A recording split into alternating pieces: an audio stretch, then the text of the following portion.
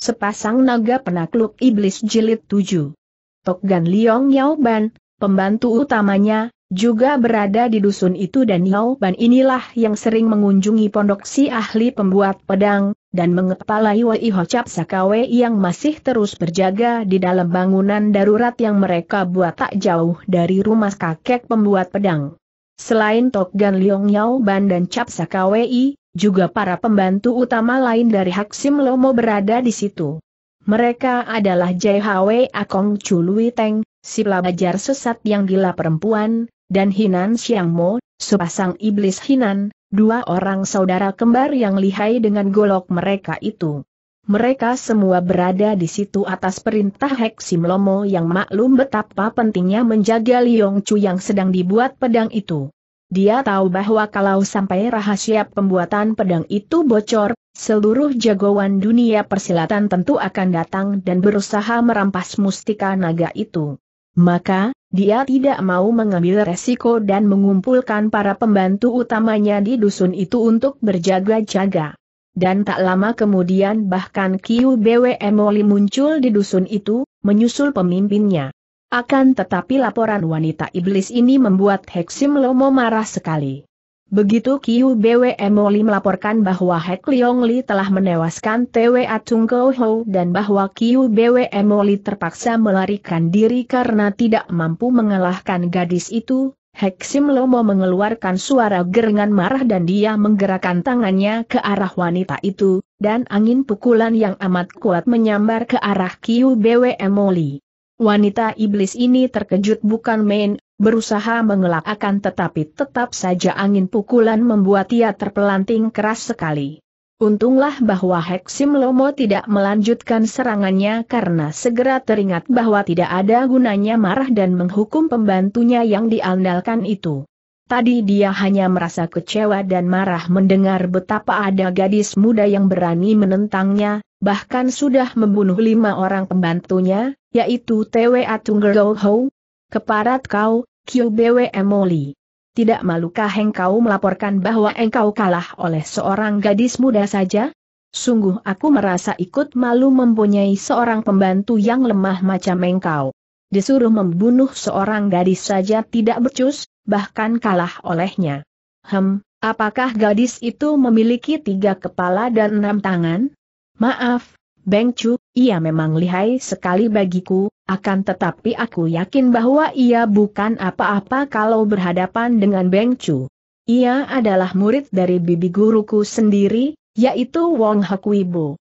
Ia ahli ilmu langkah ajaib Liu Sengpo, ilmu silat tangan kosong Bijin Kun, pukulan sakti Hiatok Chiang dan di samping itu, ia agaknya mewarisi keahlian permainan tongkat dari bibi guru Wong Hekwibo. Hem, Sudahlah, kita lupakan dulu gadis itu. Kalau sepasang pokiam, pedang pusaka, itu telah selesai, baru kita cari lagi gadis itu dan biarlah aku yang akan menangkapnya sendiri. Beng Chu, serahkan saja nona manis itu kepadaku, akan kutangkap ia dan akan kutaklukan ia kata Jai Hwe Akong Chului Teng sambil tersenyum. Wajahnya yang tampan nampak manis akan tetapi juga kejam sekali sinar matanya. Biarkan kami yang akan menghancurkan gadis sombong itu, Beng Chu kata pula Kian Siang dan Kian Siong, dua orang kembar itu hampir berbareng. Kalian jangan takabur, kata Tok Gan Liong Yao Ban yang lebih berhati-hati. Kalau ia dapat mengalahkan Kiu Bwe Emoli, berarti ia memang lihai sekali dan kita lihat saja nanti kalau sampai kita berhadapan dengannya. Bagaimanapun juga, kita harus membasminya karena ia telah berani menentang dan melanggar wibawa bengcu kita. Demikianlah, Heksim Lomo tidak mau diganggu oleh urusan lain lagi sebelum sepasang pedangnya itu selesai dibuat dan dia bersama semua pembantu utamanya yang berkumpul di dusun Gihochung, mengamati gerak-gerik kakek Tioi Han dan istrinya dan menjaga dengan ketat agar jangan sampai sepasang pedang itu diganggu orang lain. Memang terjadi hal yang amat aneh di dusun Gihochung itu. Demikian banyaknya para tokoh sesat, bahkan datuknya yang ditakuti semua orang Kang Ou, berada di dusun itu, akan tetapi anehnya, tidak ada seorang pun penghuni dusun itu yang tahu bahwa di dusun mereka terdapat seorang datuk sesat seperti Raja Setan dengan lima orang pembantu utamanya seperti iblis, dan tiga belas orang anak buah seperti binatang-binatang liar yang buas, yaitu Cap Sakawei. Hal ini adalah karena mereka semua tidak pernah melakukan suatu kejahatan atau kekerasan dalam bentuk apa pun.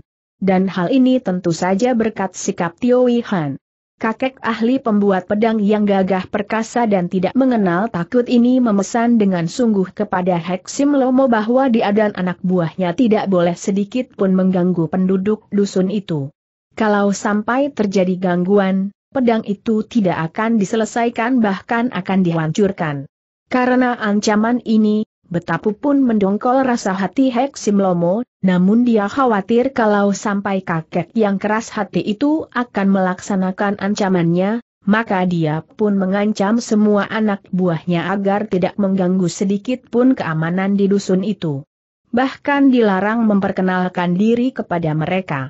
Larangan ini dipatuhi oleh semua kaki tangan Hek Simlomo, akan tetapi amat menyiksa hati Jai Hwe Akong Chului Teng.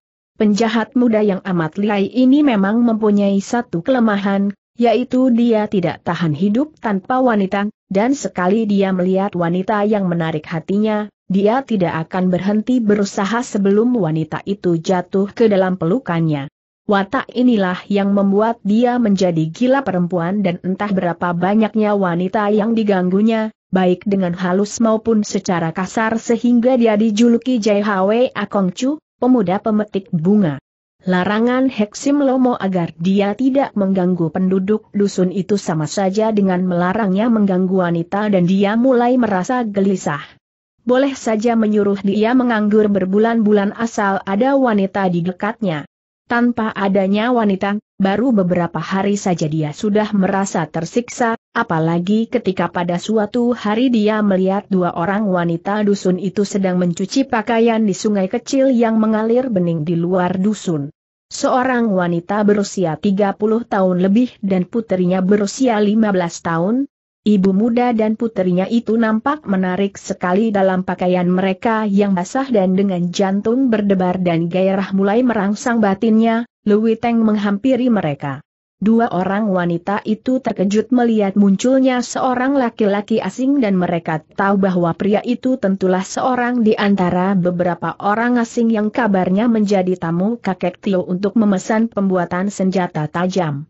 Karena selama ini mereka tidak pernah mengganggu penduduk, dua orang wanita ini pun tidak merasa takut, hanya malu dan cepat mereka berusaha menutupi dada mereka dengan kain yang mereka cuci karena basahnya baju mereka membuat pakaian itu melekat ketat dan buah dada mereka nampak membayang. Jai Hwe Akong Chului Teng tersenyum dan memang dia berwajah tampan, bersikap halus dan senyumnya amat menarik hati wanita. Dengan sopan dia memberi hormat kepada mereka. Maafkan, kedua nona-nona manis yang baik budi, bukan maksudku untuk mengganggu kalian, akan tetapi aku ingin mandi dan aku tidak akan mengganggu kalian. Teruskan saja pekerjaan kalian, nona-nona manis. Dua orang wanita itu saling pandang, kemudian yang lebih tua tersenyum geli dan menutupi muka dengan tangan.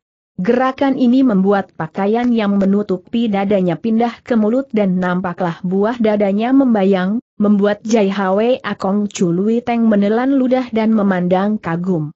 Hai hai, Kong Chu, jangan panggil aku Nona. Aku sudah bersuami dan ini adalah Akim, puteriku, anak tunggal kami. Lui Teng bukan seorang laki-laki bodoh yang tidak berpengalaman. Tentu saja dia tahu bahwa wanita ini sudah bersuami walaupun dia tidak mengira bahwa yang remaja putri itu anaknya. Akan tetapi dia berpura-pura nampak terkejut dan heran, dan dengan pandang mata penuh kagum dia pun berseru. Aih, sungguh mati. Siapa dapat menyangka hal itu? Siapa pun akan mengira bahwa engkau masih seorang gadis yang sudah dewasa, dan usiamu tentu takkan lebih dari 20 tahun lebih sedikit. Enci. Siapa akan percaya kalau engkau sudah bersuami, bahkan sudah mempunyai seorang anak seperti Nona yang cantik manis ini? sikap dan ucapan itu saja sudah amat menarik hati kedua orang wanita itu.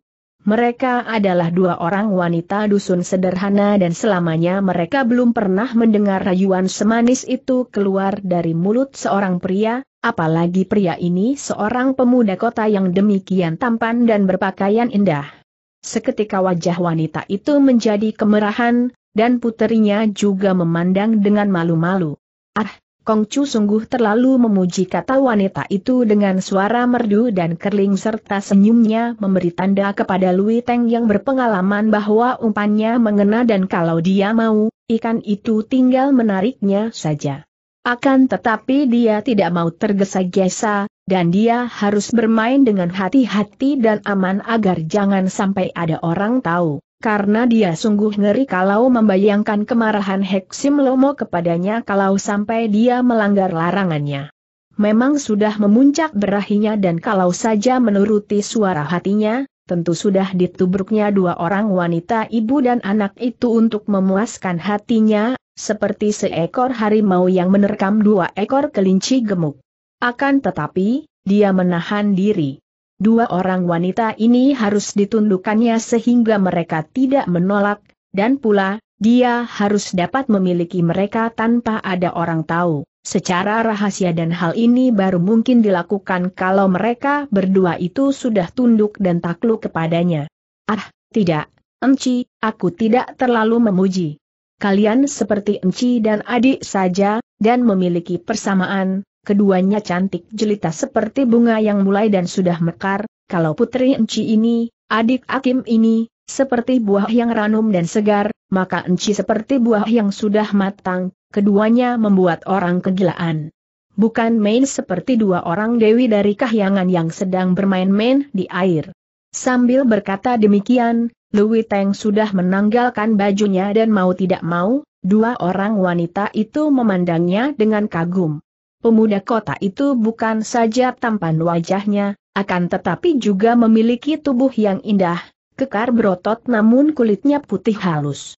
Akan tetapi ketika mereka melihat betapa pemuda tampan itu hendak menanggalkan celana, sudah meraba ke arah ikat pinggang, keduanya tergesa-gesa menyambar cucian mereka dan sambil menahan ketawa karena geli, mereka lalu lari ke tepi dan hendak meninggalkan anak sungai itu melihat betapa ibu dan anak itu melarikan diri karena malu melihat dia hendak mandi telanjang, dengan beberapa langkah saja Lui Teng sudah mengejar dan mendahului mereka, dan dua orang wanita itu terpaksa berhenti ketika melihat Lui Teng sudah berdiri di depan mereka, dengan wajah memperlihatkan penyesalan.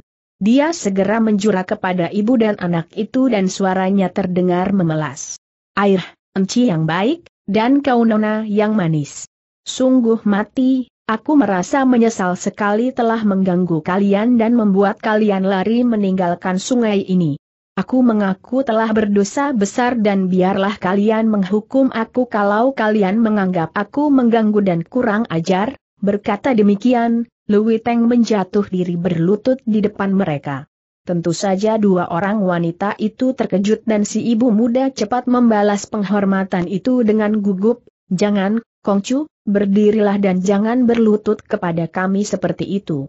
Tidak, aku merasa berdosa dan kalau kalian belum mau mengampuni aku, biar aku akan berlutut di sini sampai mati. Sebagai tanda bahwa kalian benar-benar sudi mengampuni aku, hanya kalian berdualah yang dapat membuat aku bangun dari sini, Lui Teng lalu mengulurkan kedua tangannya yang direntang ke kanan kiri. Ibu dan anak itu saling pandang, Lalu sang ibu muda mengangguk dan kedua orang wanita itu menurunkan keranjang cucian mereka, masing-masing memegang tangan Lui Teng dan menariknya bangun. Lui Teng bangkit berdiri, matanya melahap pakaian bagian dada mereka yang basah itu.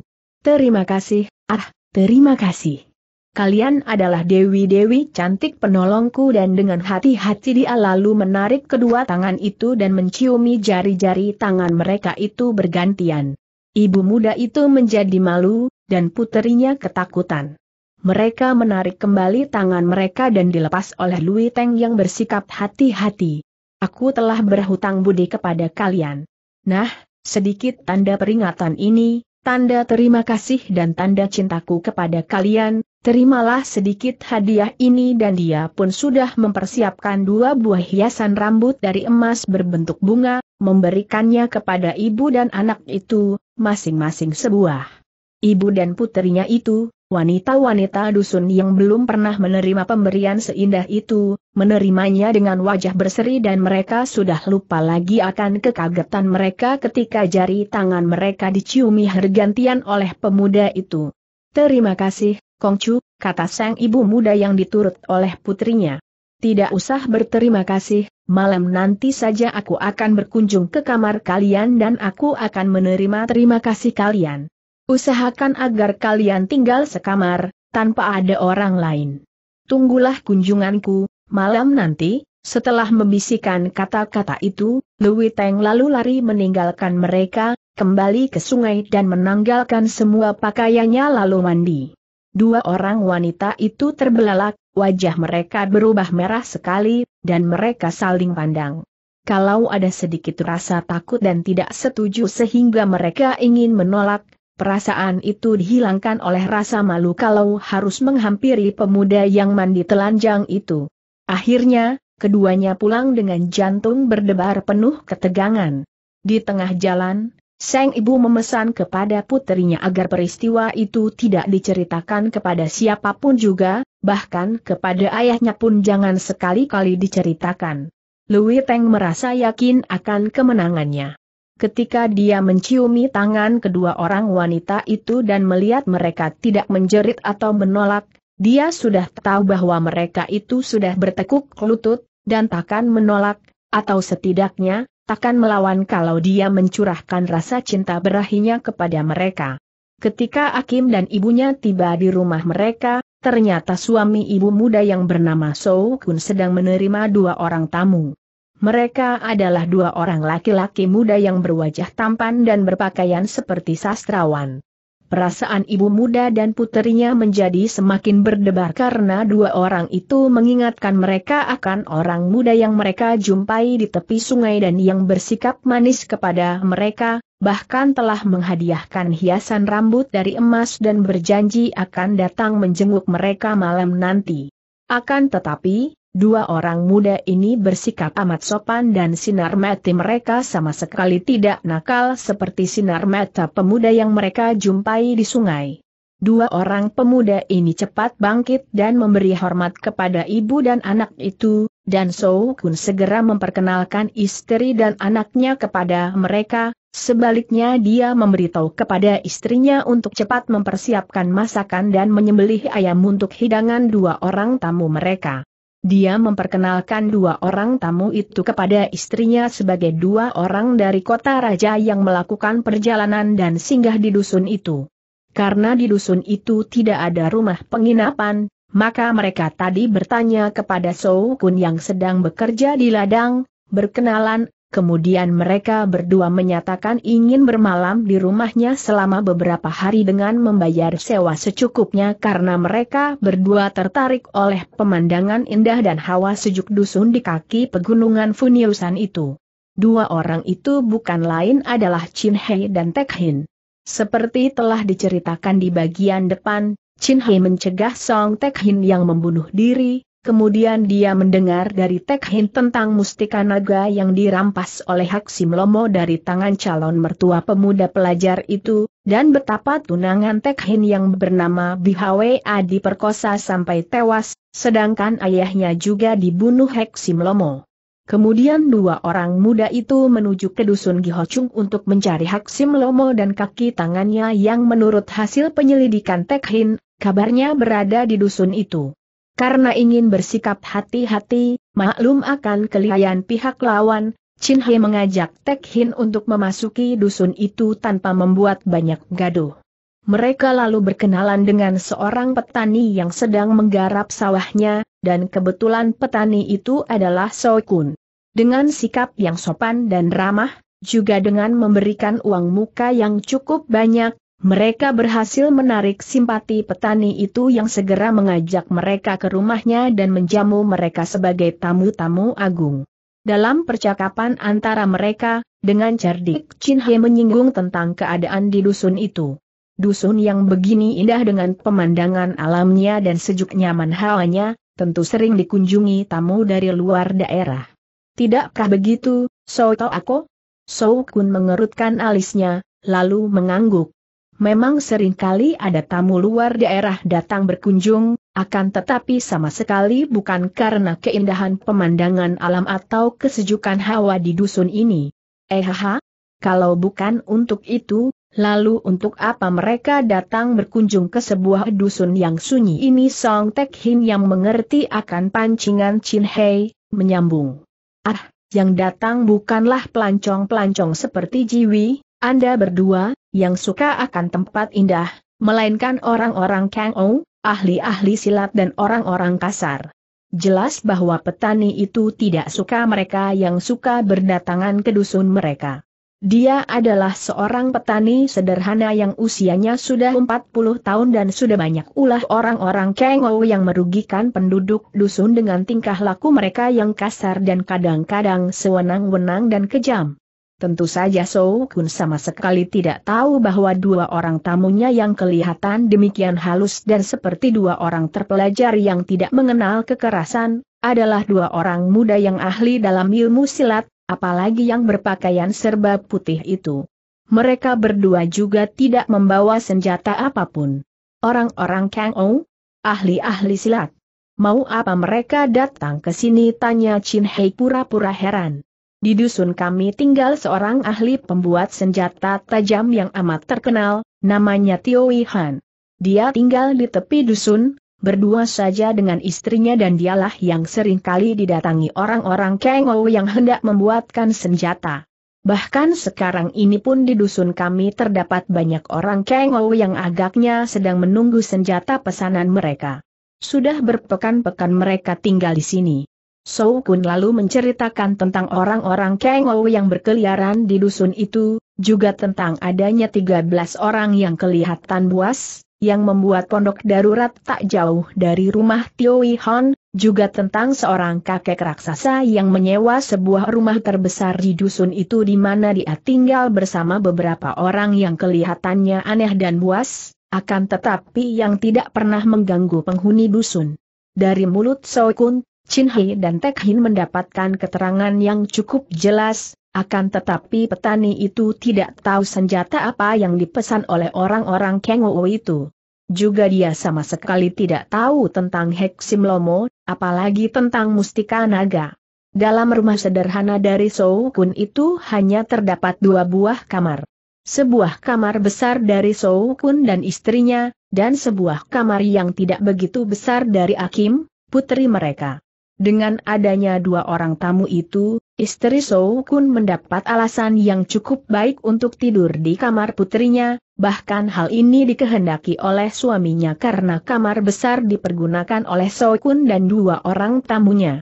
Sou Kun memberikan pembaringannya kepada dua orang tamunya sedangkan dia sendiri tidur di kursi panjang di sudut kamarnya itu. Istrinya tidur bersama puterinya dan dua orang wanita itu merasa tegang sekali, teringat akan pesan pemuda tampan yang memberi hadiah kepada mereka. Malam itu sunyi sekali. Malam yang gelap dan hawa udara di luar rumah amatlah dinginnya. Chin He dan Tek Hin yang sehari tadi melakukan perjalanan jauh dan merasa lelah, sudah rebah di atas pembaringan, bahkan Tek Hin segera jatuh pulas. Chin He masih belum dapat pulas, rebah dengan gelisah. Dia melihat kehidupan tuan rumah dan diam-diam dia merasa agak iri. Betapa bahagianya kehidupan keluarga petani dusun miskin seperti Sou Kun itu. Memang miskin sekali untuk ukuran kota, akan tetapi jelas bahwa tidak banyak persoalan yang harus mereka pikirkan kecuali bekerja setiap hari mencari makan, dan tidak ada kesulitan apa pun dalam kehidupan mereka. Tidak ada yang mereka butuhkan kecuali makan kenyang setiap hari, pakaian yang setiap hari dapat diganti, tempat tinggal yang cukup melindungi mereka dari panas, angin dan hujan. Apalagi, di dusun tidak ada restoran besar yang serba mahal, tidak ada toko-toko yang memamerkan barang-barang mewah pakaian indah, tidak ada tontonan-tontonan yang menghamburkan uang, tidak ada tempat perjudian dan lain kesenangan lagi yang hanya akan menambah besar kebutuhan manusia hidup. Lalu dia ingat akan keadaannya sendiri. Dia pun tidak butuh apa-apa, akan tetapi juga tidak punya apa-apa. Tidak ada keluarga, tidak ada orang-orang yang dicintanya, dan hidupnya terasa hampa. Dia menoleh kepada Tek Hin yang tidur pulas. Orang ini pun tidak bahagia, pikirnya. Kehilangan orang yang dicintanya, dan kini hatinya hanya penuh dengan dendam. Hanya dendam yang masih membuat dia mempertahankan hidupnya, dendam dan harapan karena bertemu dengan dia yang menimbulkan harapan akan dapat membalas dendamnya. Kasihan Song Tek Hin ini, pikir Chin Hei, lupa akan keadaan dirinya sendiri. Duka timbul dari iba diri sebagai hasil dari pementingan diri pribadi. Karena itu, begitu pikiran ditujukan kepada orang lain sehingga timbul rasa iba kepada orang lain, dengan sendirinya duka yang timbul dari iba diri itu pun menghilang atau menipis. Perubahan dan jalan pikiran ini, ulah tingkah pikiran seperti ini, seyogianya selalu diperhatikan, dia mati tanpa pamrih, tanpa tindakan apa pun, hanya pengamatan saja yang ada.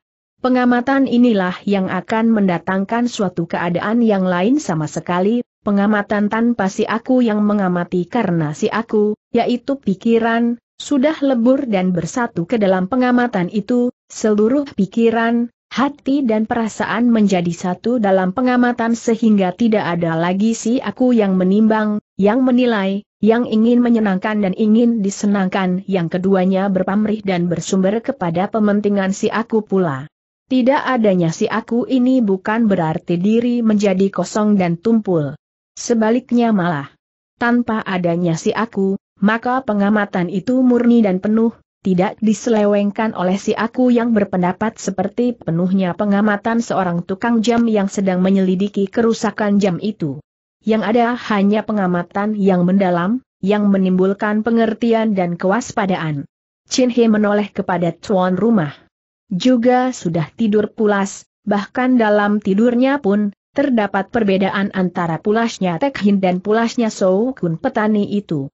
Dari cahaya sinar lilin, Chin Hei dapat melihat betapa garis-garis wajah Tek Hin yang tampan itu masih dibayangi sisa keruwetan pikiran, dan mungkin saja dalam keadaan seperti itu, di dalam tidurnya Tek Hin akan bermimpi sebagai sisa celoteh pikiran di siang hari, tidak seperti Sou Kun yang tidur demikian nyenyak, dengan wajah yang polos dan begitu bebas.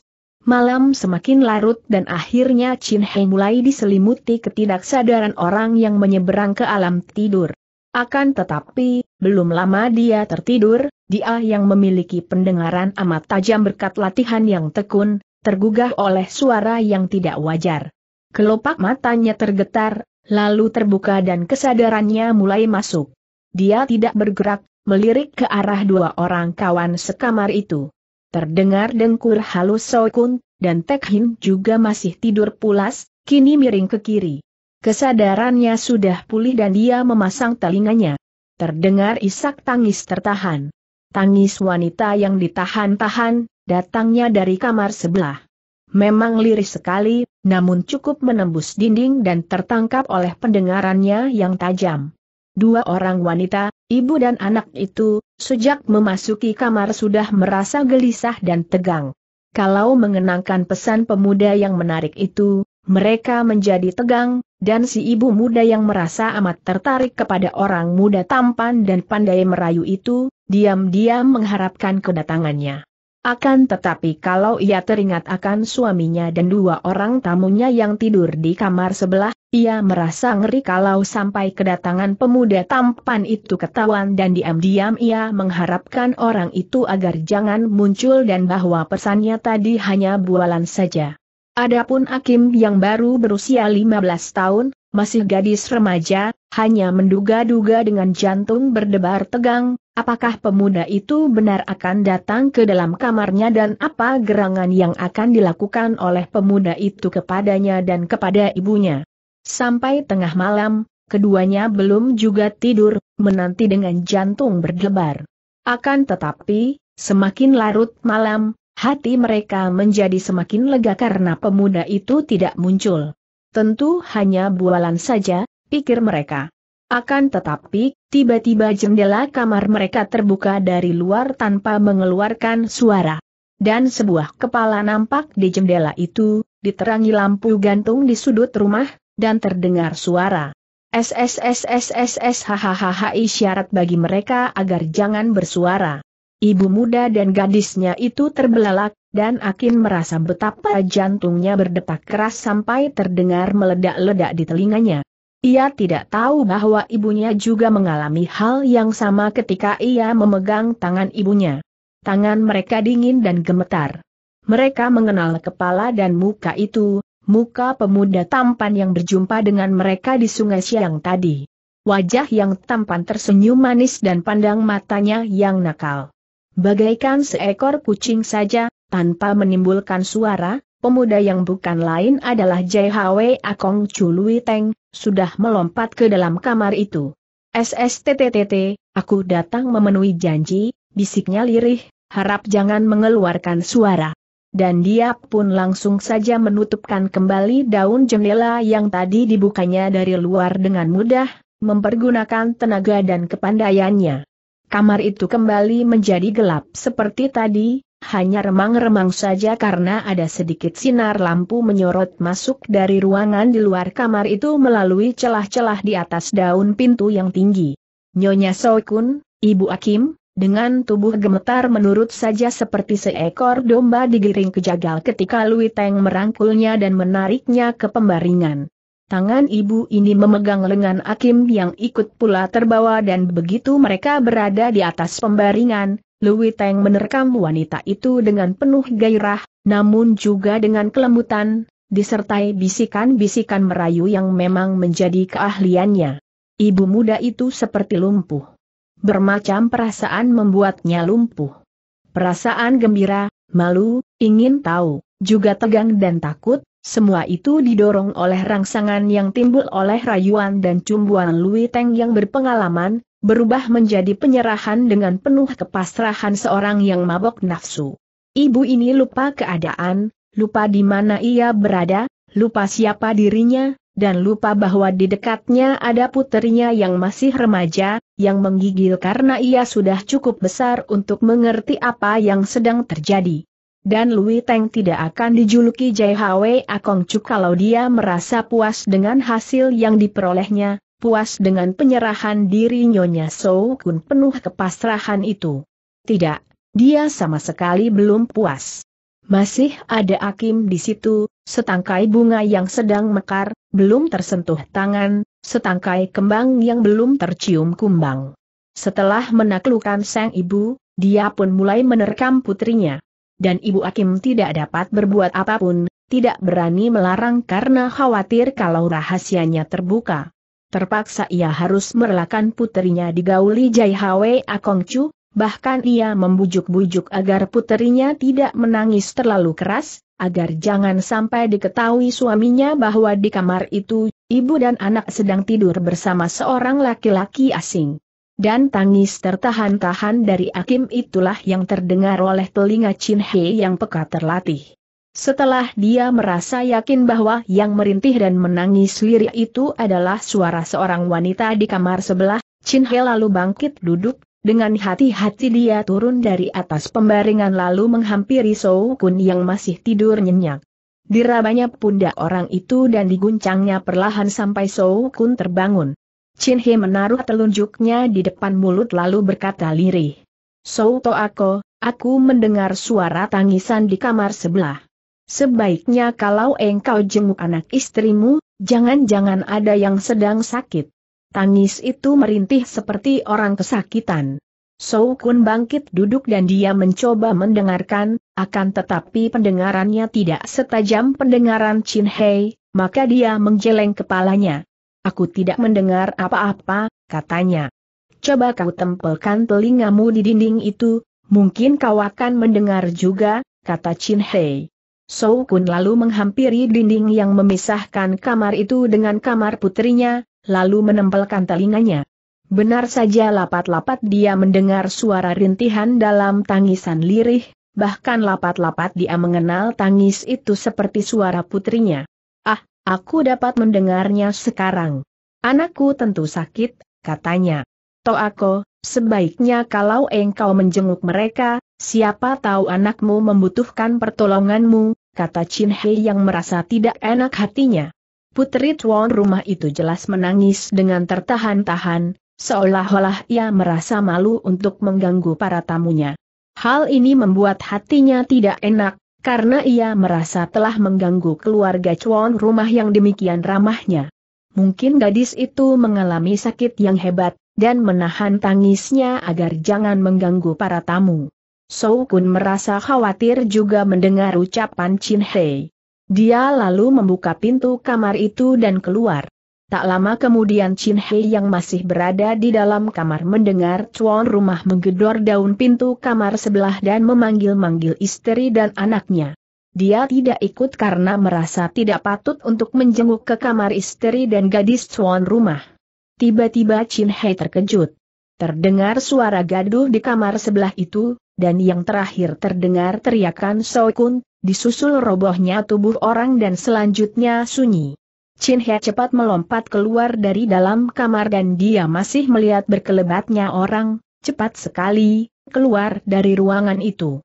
Dia hendak mengejar, akan tetapi melihat tubuh Sou Kun menggeletak di ambang pintu kamar yang terbuka lebar, sebuah lampu gantung yang agaknya tadi di bawah Sou Kun, menggeletak miring dan hampir padam di sebelahnya. Chin He tidak jadi mengejar, melainkan cepat menyambar lampu gantung itu sehingga tidak jadi mati, dan ketika dia mengangkat lampu itu mendekati tubuh Kun, dia terkejut melihat betapa orang itu telah tewas dengan leher terluka lebar hampir putus. Agaknya leher itu terbabat senjata tajam yang dilakukan dengan tenaga besar sehingga Kun tewas seketika. Tentu teriakan tadi dilakukan Kun sebelum dia roboh, dan mungkin karena dia melihat sesuatu di dalam kamar. Dengan hati berdebar tegang, Chin He melangkah ke dalam kamar, mengangkat lampu itu tinggi-tinggi di tangannya dan dia menahan teriakannya. Ibu dan gadis itu menggeletak di atas pembaringan, dengan telanjang bulat dan tubuh mereka penuh berlepotan darah. Sepintas lalu saja Chin He tahu bahwa mereka telah tewas dengan dada tertusuk senjata tajam dan mungkin menembus jantung dan mereka tewas seketika tanpa sempat mengeluarkan suara.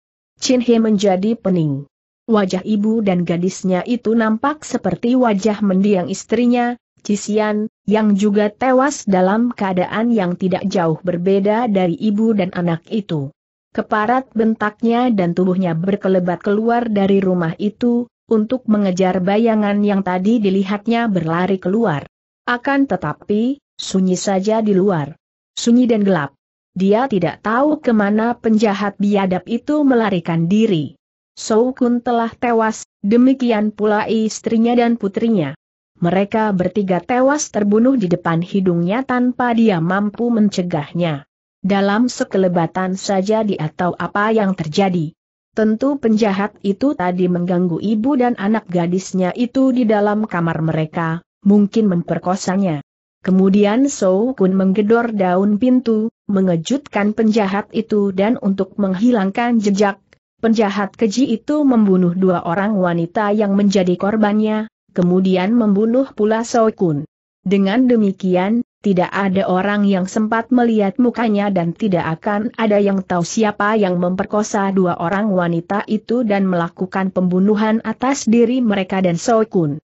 Chin Hei kembali ke rumah Soikun, lalu menyelinap ke dalam kamar di mana dia melihat Song Tek Hin baru saja terbangun dan pemuda itu memandang kepadanya dengan heran. Tai Hiap, dari mana engkau dan apakah yang terjadi? Aku seperti mendengar suara ribut-ribut di sebelah, katanya. Saudara Song, telah terjadi hal yang hebat dalam rumah ini, kata Chin Hei dan dengan singkat namun jelas dia menceritakan apa yang terjadi. Ah! Souto aku, istrinya, dan puterinya dibunuh orang Song Tek Hin terbelalak. Akan tetapi, mengapa lalu dia meloncat turun dari atas pembaringan dalam keadaan siap siaga, apakah karena kita menginap di sini? Apakah penjahat itu sebetulnya menginginkan nyawa kita? Chin He menggeleng kepala dan menceritakan pendapatnya. Agaknya penjahat itu memperkosa ibu dan anak itu. Aku mendengar rintihan mereka dan aku membangunkan Soto aku yang segera menggedor pintu kamar mereka.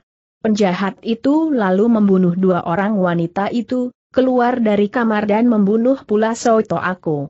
Aku sempat melihat bayangannya berkelebat melarikan diri. Tentu dia seorang yang memiliki ilmu kepandaian tinggi.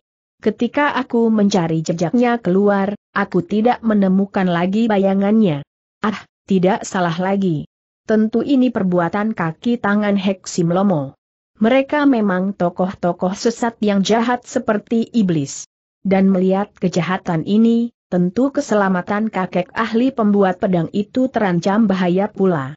Memang sebaiknya kalau kita pergi menemuinya, selain untuk menjaga keselamatannya, juga untuk melihat apakah benar Heksim Lomo membawa mustika naga yang dirampas dari Pou Sian Seng untuk dibuatkan senjata oleh kakek Tio Hon, kata Chin Hei. Lalu mereka itu, Seng Tek Hin menunjuk keluar kamar, bagaimana dengan mayat-mayat mereka? Chin Hei menarik napas panjang. Tidak ada orang lain melihat kita di sini, Sebaiknya kita pergi diam-diam agar tidak mendatangkan banyak ribut dan prasangka buruk. Biarlah besok mayat mereka ditemukan para tetangga. Kita sekarang juga pergi menyelidiki keadaan rumah kakek Tio Han. Seng Tek Hin mengangguk dan mereka lalu membawa semua bekal pakaian dan meninggalkan kamar itu. Mereka berhenti sebentar di depan kamar sebelah dan Song Tek Hin mengerutkan alisnya ketika melihat mayat-mayat itu, terutama keadaan mayat ibu dan anak yang telanjang bulat itu. Dia pun membayangkan keadaan tunangannya yang juga tewas diperkosa oleh anak buah Hek Simlomo, maka sambil mengepal tinju dia menyumpai datuk sesat dan kaki tangannya. Chin He dan Tek Hin menyelidiki keadaan sekitar rumah tinggal kakek Tio Han. Pondok itu sunyi dan gelap, tanda bahwa penghuninya sedang tidur. Chin He dan Tek Hin melihat bahwa kaki tangan Hek Sim Lomo yang membuat bangunan darurat yang tidak jauh dari pondok ahli pembuat pedang itu berada di dalam pondok darurat mereka. Ada dua orang yang duduk berjaga, yang lain agaknya juga tertidur di sebelah dalam.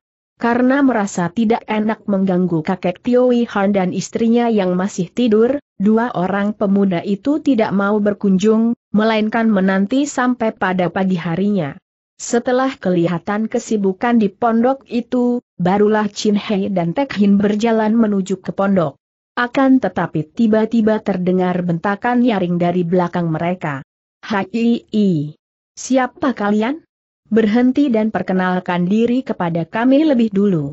Chin He dan Tek Hin membalik dan mereka melihat ada 13 orang yang bersikap kasar dan rata-rata memiliki wajah bengis, berusia antara 40 sampai 50 tahun, telah berdiri di depan mereka dengan sikap mengancam. Pemimpin mereka yang berperut gendut dan bermuka bopeng, maju menghampiri dan sikapnya angkuh sekali ketika dia memandang Chin He dan Tek Hin. Agaknya, orang inilah yang tadi membentak kepada mereka. Seng Tek Hin yang dapat menduga bahwa dia berhadapan dengan kaki tangan Hek Lomo yang jahat dan berbahaya, membiarkan Chin Hei maju melayani mereka.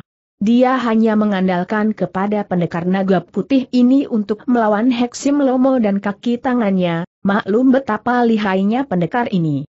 Chin He bersikap tenang, mengamati 13 orang itu dan dia pun maklum bahwa dia berhadapan dengan orang-orang yang jahat namun tentu memiliki ilmu silat yang tangguh. Siapa tahu, pembunuh Sou Kun dan anak istrinya mungkin juga seorang di antara mereka ini. Kami berdua hendak berkunjung kepada Tio Hon, ahli pembuat pedang, kata Chin Hei, harap Cui, Anda sekalian, tidak melarang kami. Tidak bisa. Siapa pun yang hendak berkunjung kepada Tio Han, harus melalui kami dan memperoleh izin dari kami. Hayo katakan, siapa kalian si gendut bopeng itu adalah Kuati, orang pertama dari Wei Hocap Sakawei dan dia bersikap congkak sekali. Chin He mengerutkan alisnya, namun dia tetap sabar. Sebetulnya kami berdua sama sekali tidak ada urusan dengan Cui, maka tidak semestinya kami memperkenalkan diri dan minta izin. Tidak tahu siapakah Cui dan ada hak apa Cui mengharuskan orang yang hendak bertemu kepada Paman Tio Barus mendapat izin dari Cui lebih dulu? Pemuda sombong bentak seorang di antara mereka. Kuato aku, hantam saja bocah lancang mulut itu bentak orang kedua. Akan tetapi Kuati tersenyum menyeringai. Daa orang bocah kutu buku, agaknya kalian tidak tahu siapa kami, ya? Kami adalah Wei Hocap Sakawei dan kami yang pada saat ini menguasai seluruh wilayah ini. Hayo kalian berlutut minta ampun, lalu berterus terang siapa kalian dan apa perlunya kalian mencari Tio Hon, baru kami akan mengampuni kalian tidak menjadi watak kuati untuk bersikap demikian sabar terhadap orang lain. Hal ini adalah karena dia teringat akan larangan keras dari Haksim Lomo agar selama mereka menanti selesainya pedang pusaka yang dibuat Tio Hon, mereka tidak diperkenankan mengganggu orang di daerah itu. Chin He maklum bahwa dia berhadapan dengan orang-orang yang biasa mempergunakan kekerasan untuk bertindak sewenang-wenang, akan tetapi dia tetap dapat menguasai diri dan tidak memperlihatkan kemarahan, melainkan menjawab dengan tenang. Namaku Tan Chin Hei dan urusanku dengan Paman Tio Han adalah urusan pribadi yang tidak dapat kuceritakan kepada orang lain. Harap Cui membuka jalan dan tidak menghalangi kami. Toako, kutu buku ini kurang ajar sekali, berani memandang rendah kepada kita biar ku hantam saja mulutnya bentak seorang di antara cap sakawei. Akan tetapi Song Tek Hin yang tidak sabar melihat betapa pendekar yang diandalkannya itu bersikap demikian lemah dan mengalah, segera membentak. Cap Sakawei atau seribu setan sekalipun tidak ada artinya dan tidak berharga bagi Tan Tai Hiap. Kalian yang tidak mengenal orang. Tan Tai Hiap ini adalah Pak Liongeng, pendekar naga putih, Sebaiknya kalian yang cepat berlutut minta ampun kepadanya. Mendengar teriakan Song Tek Hin ini, Kuati menjadi marah sekali dan melompat ke depan, siap menyerang pemuda tunangan mendiang Pou Bihwa itu. Song Tek Hin cepat meloncat ke belakang, berlindung di belakang Chin Hei. Kuati tidak peduli dan dia sudah mencabut goloknya menyerang ke arah Song Tek Hin. Akan tetapi, Chin He menggerakkan kakinya maju ke depan dan kaki kirinya menyambar ke arah lutut kaki kanan orang pertama dari Wei Hocap Sakawei itu. Kuati melihat pendangan ke arah lututnya, cepat dia menahan serangannya dan mengayun golok besar yang tadi diangkat ke atas kepala itu ke bawah, membabat ke arah kaki Chin He yang menendang. Gerakannya cepat dan amat kuat sehingga kini berbalik Chin He yang terancam kakinya.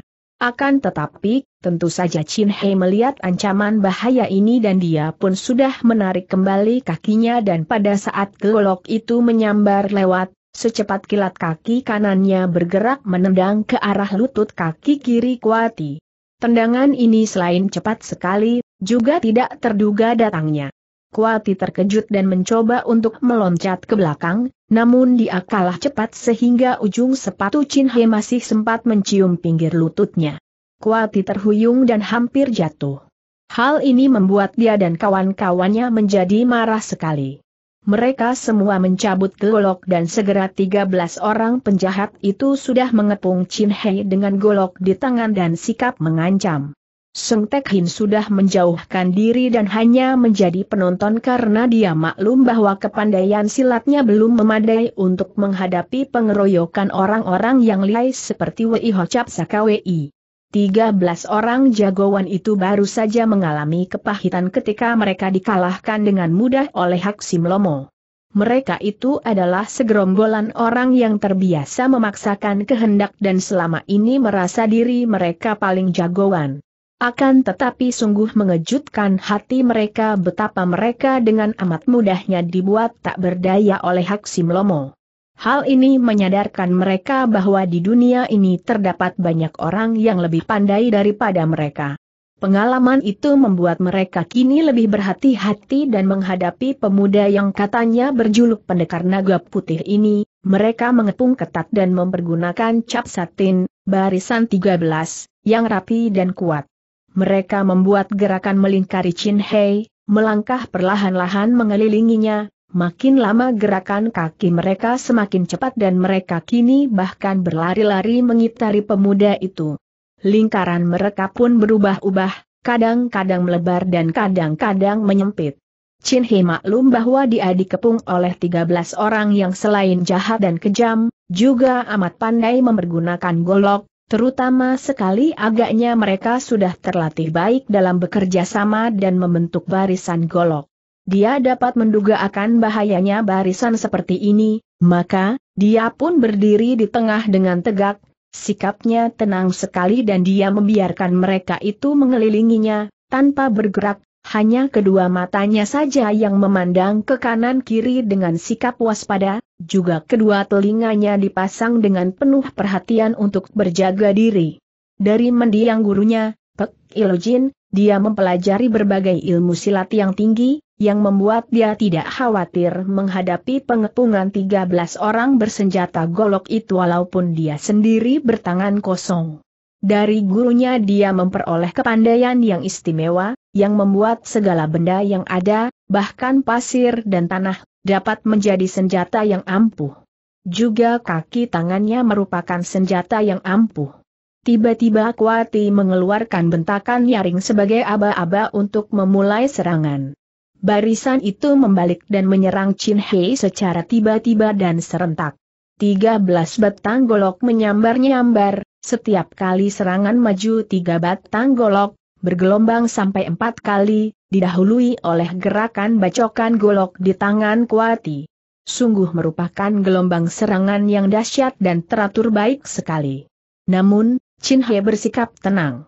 Dia melihat datangnya serangan-serangan itu dan dengan kelincahan tubuhnya yang luar biasa, dia menggerakkan tubuhnya menyelinap di antara sinar golok.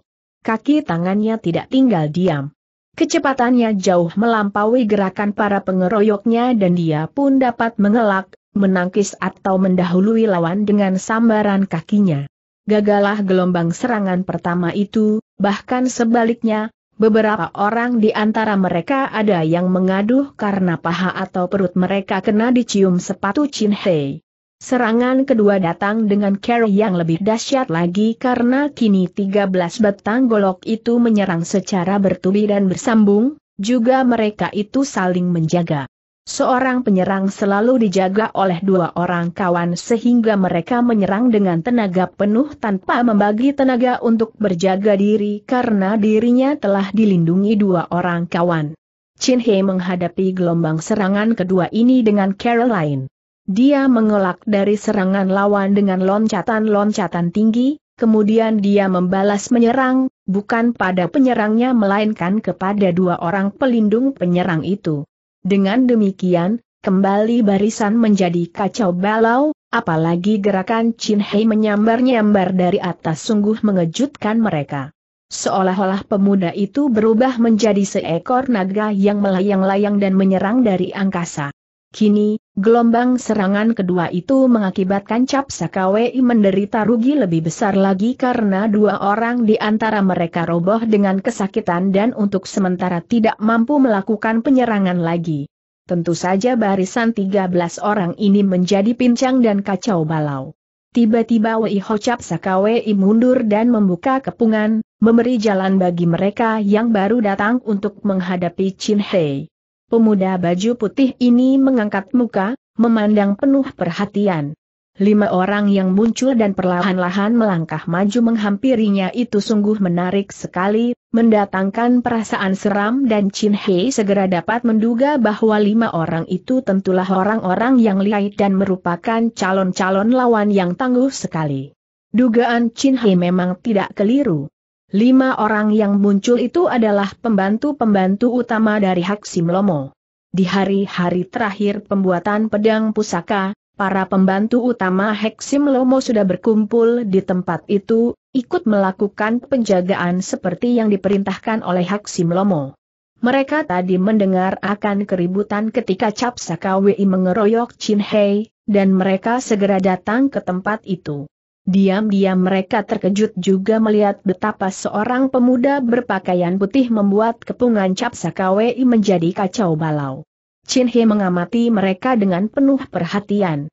Yang melangkah di sudut kiri adalah seorang laki-laki tinggi kurus, berusia kurang lebih 50 tahun, dan mata kirinya buta, tertutup dan tidak ada biji matanya lagi. Itulah Yao Ban yang berjuluk Tok Gan Leong, naga mata satu, seorang yang amat lihai dengan pedang tunggalnya. Di sampingnya berjalan Kiu Bwe Emoli.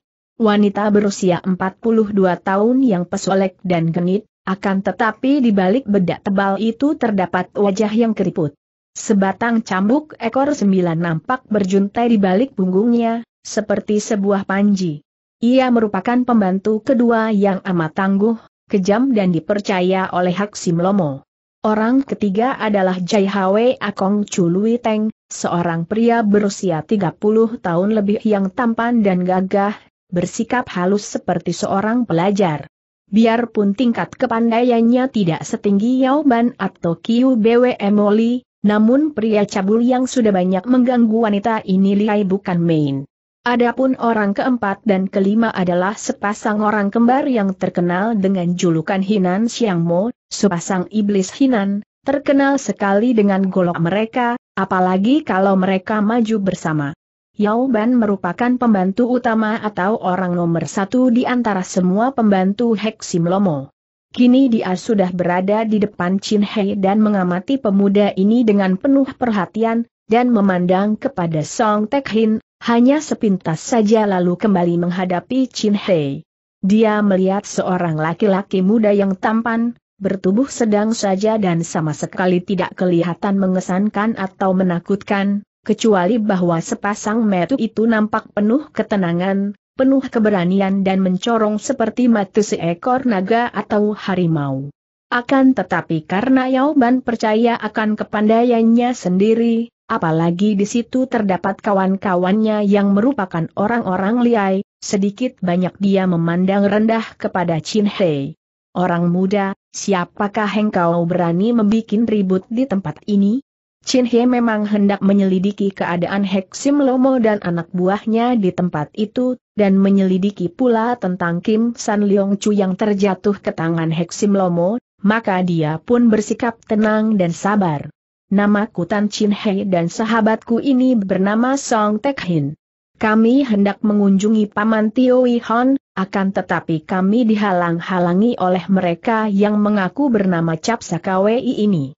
Mendengar pemuda itu menyebut paman kepada Tio Hon, Yao Ban mengerutkan alisnya.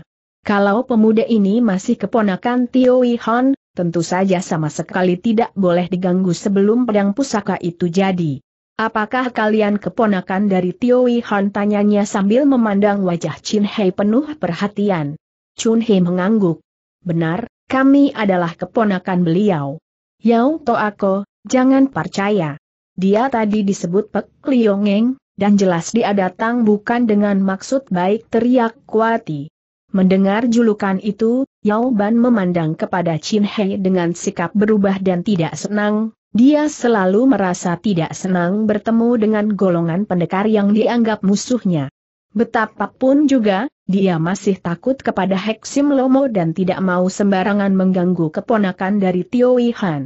Keponakan atau bukan, kalian harus menyerah kepada kami untuk kami bawa menghadap pimpinan kami dan kami tanyakan kepada Tio Han apakah benar kalian adalah keponakannya. Tentu saja Chin He tidak mau menyerah. Tio Han takkan mau mengakui mereka sebagai keponakan. Kenal pun belum. Tidak, kami tidak mau menyerah. Kami tidak bersalah apa-apa terhadap kalian, mengapa kami harus menyerah? biarkan kami pergi dan mengunjungi Paman Tio Hon, karena kami pun tidak mempunyai urusan dengan kalian, katanya. Orang muda, beranikah engkau menentang kami Yao Ban menghardik, marah dan mengancam. Aku tidak bersalah apa pun dan tidak menentang siapa pun Chin Hei balas menghardik. Lui Te, kau hajar dia teriak Yao Ban, memberi perintah kepada kawannya. Jai Hwe Akong Chului Teng tersenyum, memandang rendah kepada Chin Hei dan sekali menggerakkan kaki, tubuhnya sudah meloncat dengan gerakan indah ke depan Chin Hei, langsung saja dia menampar dengan tangan kirinya, dilanjutkan dengan pukulan telapak tangan pada dada Chin Hei. Wuut, plak. Chin He mengelak dari tamparan pertama dan menangkis pukulan kedua. Tamparan dan pukulan itu mengandung tenaga yang kuat sehingga mendatangkan angin. Akan tetapi tangkisan Chin He membuat tubuh penjahat cabul itu hampir terpelanting. Louis Teng terkejut bukan main dan dia pun sudah melepas sabuk kain putihnya, lalu menyerang Chin He dengan totokan ujung sabuk, tamparan tangan kiri dan diseling tendangan bertubi-tubi yang kesemuanya merupakan serangan maut. Namun, yang diserang bertubi-tubi menghadapi semua serangan itu dengan tenang sekali. Hanya dengan gerakan kedua kaki bergeser ke belakang, kanan atau kiri, dan dengan kedua tangan menangkis, semua serangan Lui Teng dapat dipatahkan dan ketika dari samping lengan Chin He membalas dengan pukulan melengkung, pundak Lui Teng kena disentuh dan tubuhnya terjengkang keras. Untung si penjahat cabul ini memiliki Gin Kang yang baik sekali sehingga dia mampu membuat salto tiga kali ke belakang untuk mematahkan kekuatan yang mendorongnya dan dia tidak sampai terbanting dan terjengkang. Akan tetapi mukanya berubah pucat dan berkeringat. Xiang Mo, bantu dia bentak Yao Ban kepada Hinan Xiang Mo. Dua orang kembar ini sudah menggerakkan golok di tangan mereka dan bagaikan dua orang satu otak mereka bergerak maju menyerang Chin Hei. Jai Hwe Akong Chului Teng juga sudah maju lagi memutar sabuk putihnya dengan penuh semangat terdorong oleh rasa marah dan penasaran. Chin Hei dikeroyok oleh tiga orang lawan yang tangguh. Namun, tidak sia-sia mendiam Pek Ilojin, kakek sakti itu, menggembleng Chin Hei selama tujuh tahun dan mewariskan semua ilmu simpanan dan andalannya.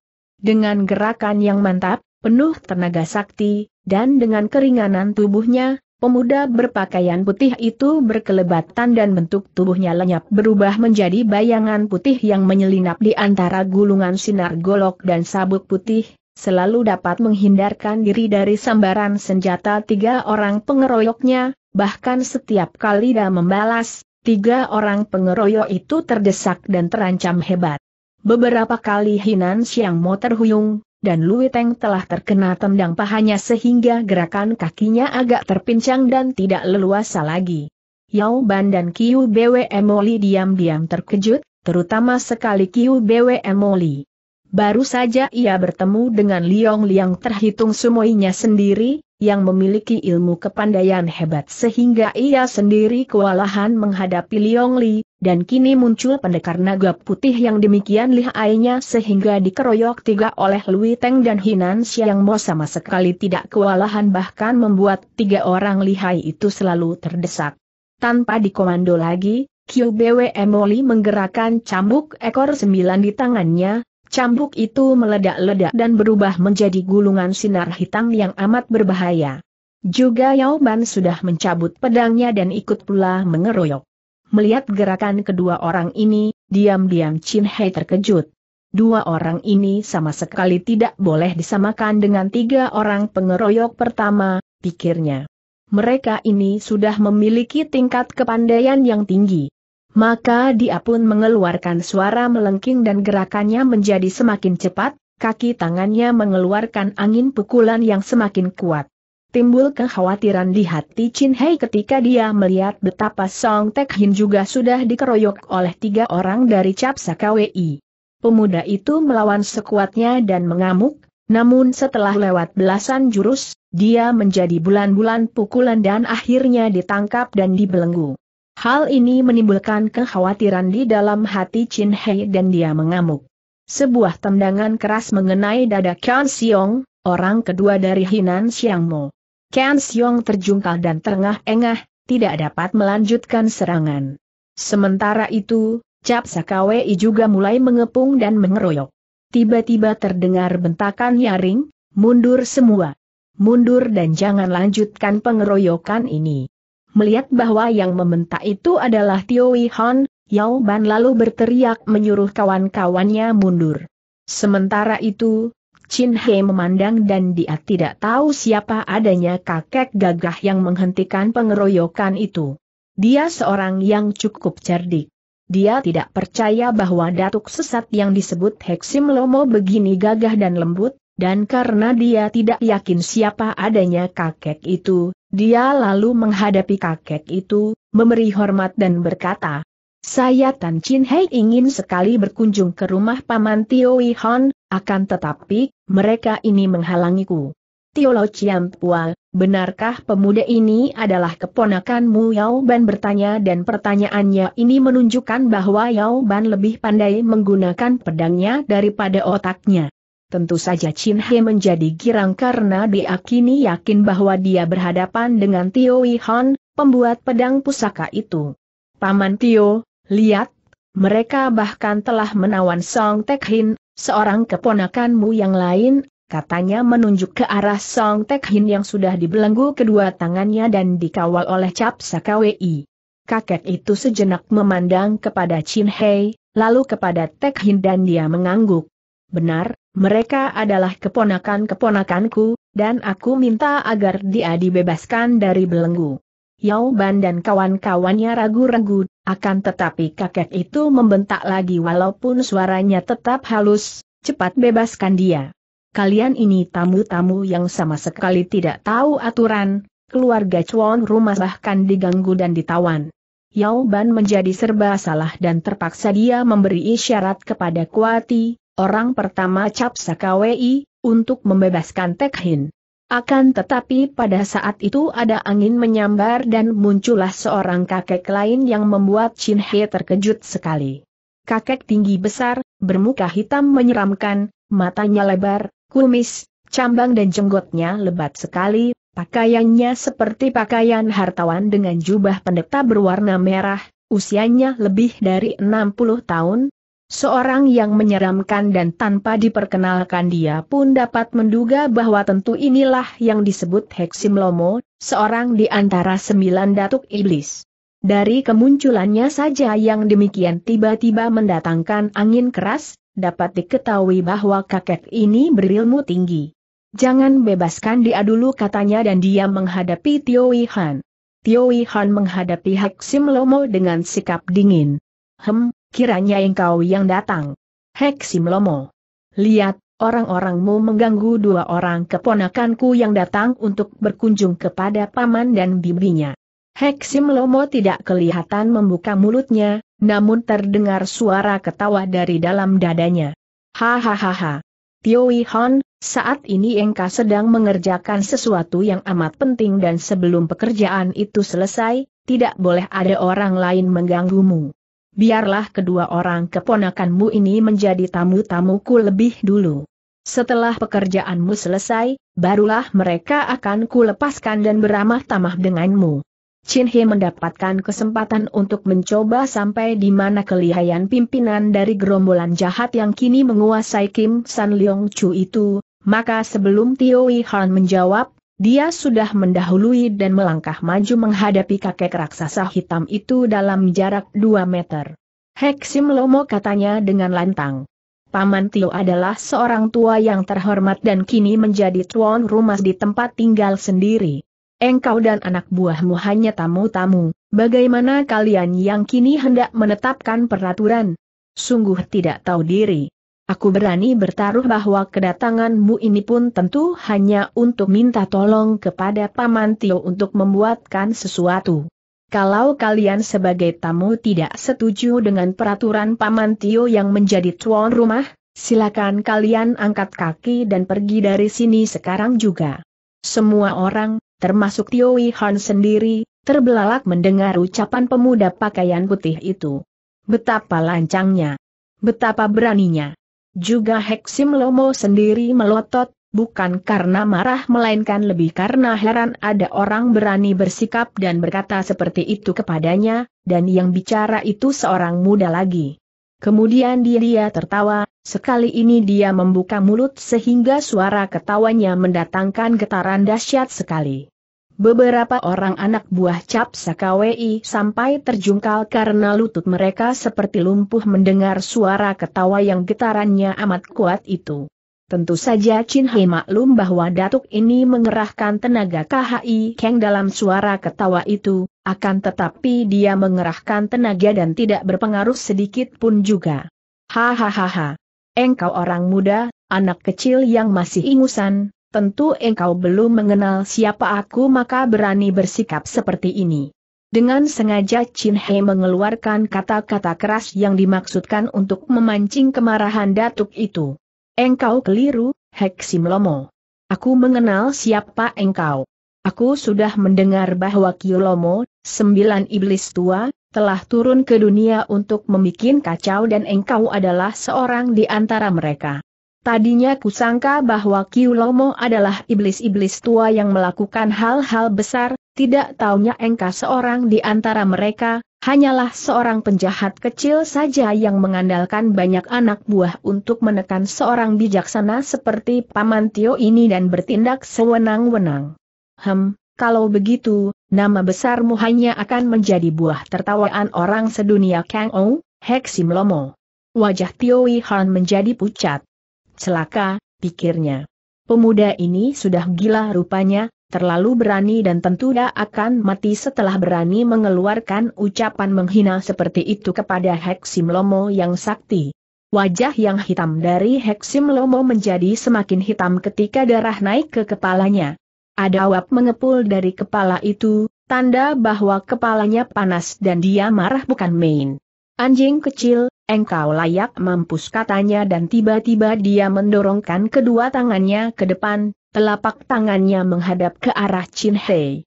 Pemuda ini sudah menduga bahwa kakek datuk itu sakti, maka dia tidak berani memandang rendah. Cepat dia pun menekuk kedua kakinya, mengerahkan sinkang sekuatnya dan dia pun mendorongkan kedua telapak tangan ke depan. Dua tenaga raksasa bertemu di udara dan akibatnya, tubuh Chin He terdorong mundur sampai beberapa meter sedangkan tubuh Haksim Lomo bergoyang-goyang. Akan tetapi, Chin He tidak terluka dan tidak terjengkang. Dia tadi mengerahkan sinkang dan menggunakan tenaga lemas untuk menahan dorongan yang amat kuat itu, maka dia terdorong mundur namun tidak terluka. Hek Sim Lomo yang tadinya sudah tersenyum kemenangan, kini terbelalak dan mulutnya ternganga melihat betapa pemuda yang terdorong mundur itu masih dalam keadaan memasang kuda-kuda dan bahkan tersenyum, sedikit pun tidak terluka atau roboh. Dia menurunkan kedua tangannya dan memandang, matanya mencorong penuh rasa marah dan penasaran. Chin He meloncat lagi ke depan, kini dalam jarak kurang dari dua meter di depan kakek itu. Penagamu memang kuat Heksim Lomo, akan tetapi belum cukup kuat untuk merobohkan aku. Apakah engkau masih memiliki ilmu lain yang lebih hebat Chin He memang sengaja menantang, dan tadi pun dia sengaja menyebut tentang penggunaan anak buah agar datuk itu tersinggung dan menyerangnya tanpa mengandalkan pengeroyokan anak buahnya. Dan bakarannya ini berhasil baik sekali. Heksim Lomo menjadi marah dan dari kedua matanya seperti keluar api, hidungnya mendengus tiga kali seperti seekor kuda yang marah. Bocah sombong, makin lama semakin kurang ajar engkau. Kalau belum dihajar, takkan tahu siapa sesungguhnya Heksim Lomo katanya dan tubuhnya menerjang ke depan. Biarpun usianya sudah 63 tahun lebih, dan tubuhnya tinggi besar, namun serangan ini sungguh mengejutkan karena gerakannya cepat bukan main, seperti seekor biruang yang marah. Tahu-tahu dia telah menyerang dari kanan kiri dengan kedua tangan yang berlengan panjang. Melihat gerakan kedua lengan itu, sungguh mirip dua ekor ular besar yang menyambar mangsanya dengan moncong dibuka lebar. Dan memang kakek ini seorang yang memiliki ilmu silat ular yang amat berbahaya. Lengannya dapat bergerak cepat sekali seperti ular, meliak liuk dan tangannya membentuk kepala ular dengan moncong dibuka, kuku-kuku kedua tangan itu seperti gigi-gigi ular yang beracun. Chin He tidak berani memandang rendah. Pernah mendiang gurunya bercerita tentang nama besar Kyolomo yang merupakan sembilan orang datuk sesat yang amat tinggi ilmunya. Dia pun cepat mengerahkan tenaga Sin Kang dan mempergunakan kelincahan tubuhnya dan langkah-langkah kaki untuk menghindarkan semua serangan lawan dan membalas secepatnya dengan totokan-totokan dan pukulan-pukulan maut. Terjadilah perkelahian yang amat hebat. Angin pukulan menyambar-nyambar, bahkan kadang-kadang mengeluarkan suara angin bercuitan, orang-orang mundur teratur, tidak berani mendekat karena amat berbahaya kalau kena disambar pukulan sehebat itu. tubuh kedua orang itu lenyap bentuknya, berubah menjadi dua bayangan orang yang saling serang, bayangan putih dan bayangan merah. Kadang-kadang terdengar dua benda bertemu, yaitu kedua lengan mereka saling bertemu membawa tenaga Sin Kang yang kuat sekali sehingga benturan kedua tangan itu terasa getarannya oleh semua orang. Namun, Chin Hei sungguh merupakan seorang pendekar muda yang hebat dan gigih sekali.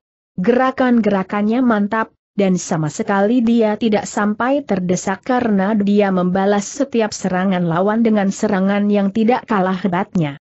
Beberapa kali kalau serangannya nyaris mengenai lawan namun tetap dapat terelakkan, atau kalau lengan mereka saling bertemu dengan dahsyatnya, Heksim Lomo mengeluarkan suara gerengan seperti suara binatang buas. Hiat tiba-tiba Heksim Lomo membentak dan tangan kanannya memukul dengan kuatnya ke arah kepala Chin Hei. Pemuda ini cepat mengelak ke kiri sambil membuat tangkisan melingkar dengan tangan kanannya. Akan tetapi, tangan kanan Heksim Lomo membalik ke bawah dan menangkap pergelangan tangan Chin Hei. Chin Hei segera mengerahkan Sin Kangnya untuk menjaga lengan yang tertangkap memutar kaki dan tangan kirinya mencuat ke arah mata kanan lawan. Serangan ini berbahaya sekali sehingga Heksim Lomo terpaksa melepaskan cengkeramannya dan menangkis, tangan kirinya menyambar dari bawah ke arah ulu hati lawan. Chin He memapaki serangan tangan kiri itu dengan tangan kanannya. Plak kedua tangan bertemu saling dorong dan tubuh Chin He terdorong mundur sampai setombak. Dia cepat membalikan tubuhnya karena pada saat itu dia mendengar angin pukulan lawan kembali datang. Dengan melangkah mundur, Chin Hei merasa yakin bahwa pukulan itu tidak akan dapat mencapai tubuhnya. Akan tetapi lengan lawan itu terus mulur dan biarpun jarak mereka ada dua meter, tangan itu masih menyambar ke arah mukanya. Baru tahulah Chin He bahwa lawannya memiliki ilmu yang aneh itu, yaitu lengannya dapat mulur seperti karet. Ih dia melempar diri ke belakang dan berjungkir balik. Nyaris mukanya kena dicengkeram sehingga keringat dingin membasahi leher Chin He yang merasa ngeri. Lawannya sungguh lihai bukan main. Ketika dia melompat lagi menghadapi lawan, Chin He lalu melakukan gerakan aneh dan dia mulai mainkan jurus-jurus aneh dari ilmu silat Pek Liong Sin Kun, silat sakti naga putih, ciptaan gurunya yang telah dikuasainya dengan sempurna dan yang jarang dia mainkan. Kini, bertemu dengan lawan yang demikian saktinya, yang dalam segala hal bahkan lebih tinggi tingkatnya dibandingkan dengannya, terpaksa dia mengeluarkan ilmu silat simpanannya itu. Kembali terjadi saling serang yang hebat dan dengan ilmu silat Pek Liong Sin Kun ini, Chin Hei bukan saja dapat membendung semua gerakan lawan, bahkan dapat membalas dan membuat datuk itu agak kerepotan karena Heksim Lomo sama sekali tidak mengenal ilmu silat yang aneh dan berbahaya itu. Plak dengan desakan sebuah jurus yang ampuh, tangan kiri Chin Hei berhasil menampar pundak lawan. Tidak hebat memang, namun cukup membuat Heksim Lomo menggereng karena malu dan marah. Dia membalas dengan dorongan tangan kirinya ke arah leher Chin Hei. Pemuda ini memiringkan tubuh sehingga dorongan tangan itu lewat di atas pundaknya, akan tetapi tiba-tiba tangan yang mulur panjang itu membalik dan menyerangnya dari belakang dengan cengkeraman. Chin Hei terkejut, namun tidak gugup karena dia sudah tahu bahwa lengan lawannya dapat mulur. Sambil miringkan tubuh, dia menangkis tangan yang datang dari belakang tadi, dan tangan yang lain menusukkan jari ke arah mata lawan. Heksim Lomo semakin marah karena semua akalnya dapat dipunahkan oleh Chin Hei. Dia mencabut pedangnya dan tanpa banyak cakap lagi dia memutar pedang dan menyerang dengan dahsyatnya. Chin Hei cepat mengelak dan berloncatan, namun ilmu pedang kakek itu sungguh dahsyat bukan main, membuat Chin Hei segera terdesak. Chin Hei kini terdesak dan terkurung oleh sinar pedang yang bergulung-gulung dan dia maklum bahwa kini dia benar-benar terancam. Ketika dia meloncat untuk menghindarkan babatan pedang ke arah kakinya, dia disambut tangan kiri yang mulur dan pukulan menyerempet bahunya, membuat dia terjatuh. Pedang menyambar ganas dan Chin Hei masih berhasil menghindarkan diri dengan bergulingan, dikejar oleh gulungan sinar pedang. Pada saat itu, Tio Han meloncat ke depan. Tahan, Hek Lomo. Melihat kakek ini menghadang, hampir saja Heksim Lomo membabatkan pedangnya. Akan tetapi dia teringat akan pesanan pedang pusaka, maka dia menahan pedangnya dan memandang kepada pembuat pedang itu dengan mati melotot. Minggirlah, Tio Han. Akan kubunuh setan cilik itu bentaknya. Tidak, Heksim Lomo. Kalau engkau membunuh kedua orang pemuda itu, aku tidak akan menyelesaikan pesanan pedangmu, biar kau bunuh pun aku tidak akan mau menyelesaikan katanya ketika melihat betapa Yao Ban sudah berada di sampingnya dan menempelkan pedang di lehernya. Sikap kakek ini gagah dan berwibawa, sedikit pun tidak memperlihatkan kekhawatiran atau ketakutan. Tan Chin Hei, menyerah kau, atau kami akan lebih dulu membunuh kakek Tio Han dan saudaramu itu kata Yao Ban. Chin He melirik dan melihat betapa sebatang golok ditempelkan pula di leher Song Tek Hin. Melihat Chin He menoleh kepadanya, Tek Hin yang sudah ditempeli golok di lehernya itu berteriak. Tai Hiap, jangan pedulikan aku. Aku tidak takut mampus. Sebaiknya engkau basmi serigala-serigala jahat ini sebelum mereka menyebar kejahatan kepada orang lain. Plak seorang di antara cap sakawei menampar mulutnya dan bibir pemuda itu penuh berdarah. Namun, Tek Hin tidak menjadi gentar. Biar mereka menyiksaku, membunuhku, aku tidak takut. Jangan mau menyerah, Tai Hiap. Mereka ini curang dan licik kembali dia berteriak. Hek Simlomo kalau engkau tidak membebaskan kedua orang pemuda itu, sungguh mati aku tidak sudi menyelesaikan pedangmu Tio Han berteriak lagi mengancam. Sejenak saja Heksim Lomo bimbang, lalu dia menyimpan pedangnya. Aku tidak akan membunuh mereka, akan tetapi mereka berdua itu harus menjadi tawananku dan baru akan kubebaskan setelah engkau menyelesaikan pedang-pedangku. Tio Han bimbang, akan tetapi Chin Hei yang mengkhawatirkan keselamatan kakek itu dan Tek Hin, berkata kepadanya, Paman Tio, biarlah aku dan Tek Hin menjadi tawanan. Sebagai seorang datuk besar, tentu Hek Sim Lomo tidak akan melanggar janjinya.